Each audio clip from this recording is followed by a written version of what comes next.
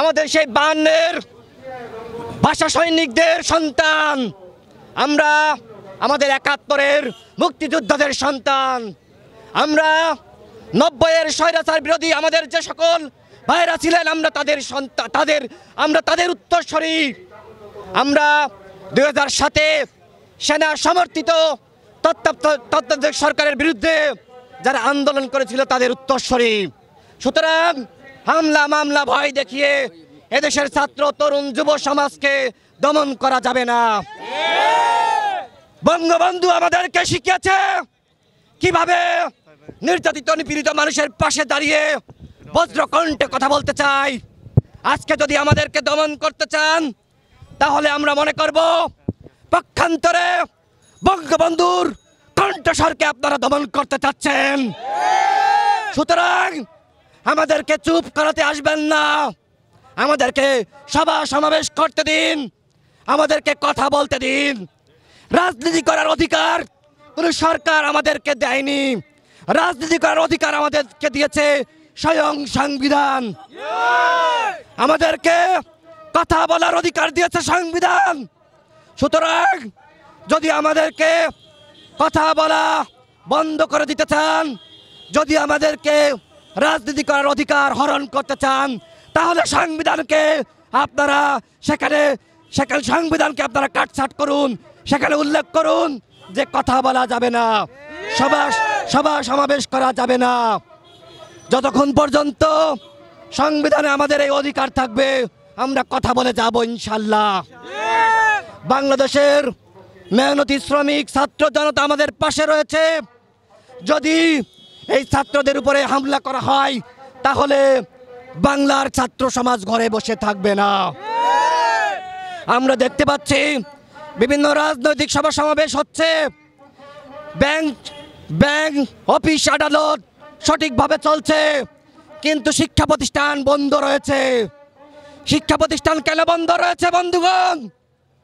আপনারা দেখেন যে হাসপাতালের কর্মচারী, কর্মকর্তা যারা রয়েছে তাদেরকে পার্সোনাল প্রোটেকশন ইকুইপমেন্টস দেওয়া হয়েছে। আমরা বলছি, যেভাবে হাসপাতালে স্বাস্থ্য, স্বাস্থ্যবিধি মানা হচ্ছে, ঠিক একইভাবে স্বাস্থ্যবিধি মেনে শিক্ষা প্রতিষ্ঠান খুলে দিন।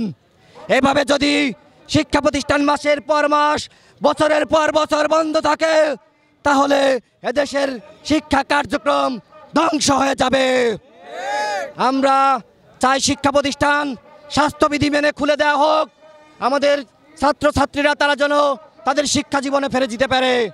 এবং আমরা জানতে চাই, এই করোনাকালে সরকারের পক্ষ থেকে ঘোষণা করা হয়েছিল যে প্রশাসনিক কর্মকর্তা, হাসপাতাল হাসপাতাল কর্তৃপক্ষ এবং এ ধরনের কাজের সাথে যারা জড়িত, তাদেরকে বিভিন্ন মোটিভেশন দেওয়া হবে পার্সোনাল প্রোটেকশন ইকুইপমেন্টস দেওয়া হবে। কিন্তু কীভাবে, কতটুকু তাদের পাশে দাঁড়িয়েছে সরকার, তার নিশ্চয়তা তা আমরা দেখি নাই। তাই স্পষ্ট নাই আমরা জানতে চাই, হাসপাতাল, হাসপাতালের কর্মকর্তা, কর্মচারী, ডাক্তারদের পাশে কীভাবে সরকার দাঁড়িয়েছে, তা জাতির কাছে তুলে ধরতে হবে। এবং আমরা দেখতে পাচ্ছি, এই করোনা কালে অসংখ্য গার্মেন্টস কর্মীদেরকে ছাঁটাই করা হয়েছে। অসংখ্য প্রাইভেট কোম্পানি থেকে কর্মকর্তা, কর্মচারীদেরকে ছাঁটাই করা হয়েছে। সংবাদ কর্মীদেরকে ছাঁটাই করা হয়েছে। আমরা এই সকল মানুষের পাশে রয়েছি এবং গত মধ্যরাত কবে? এবং পরশু মধ্যরাতে যেভাবে গার্মেন্টস কর্মীদের উপরে নির্যাতন করা হয়েছে গরম পানি নিক্ষেপ করা হয়েছে আমরা এর তীব্র নিন্দা এবং প্রতিবাদ জানাচ্ছি। শিক্ষকরা আমাদের মানুষ গড়ার কারিগর। এই শিক্ষকদের উপরে যে হামলা শিক্ষার্থীদের শিক্ষকদের উপরে যে গরম পানি ঢালা হয়েছে এটি কখনোই ছাত্র সমাজ মেনে নিবে না। শিক্ষকরা আমাদের পিতার সমতুল্য।